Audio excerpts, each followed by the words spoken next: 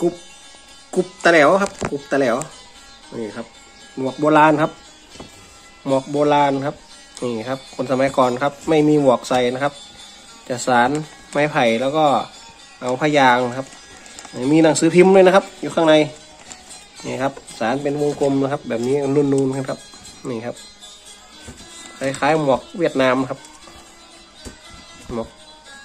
เอส อันนี้คือกันฝกันฝนได้ครับโอ้โหนี่ทำจากนี่ครับดูขั้นในครับ ดูครับใช้หนังสือพิมพ์ครับในการทำรูปทำหมวกนะครับ แล้วก็สารที่ใส่หมวกแบบนี้นะครับ นี่ครับ ตอนนี้ไม่มีที่ไหน หายากนะครับ หมวกแบบนี้ครับ ไม่ค่อยมีใครใส่นะครับ นี่ครับ กันฝนได้ครับนี่ครับ เขาเรียกกุบนะครับ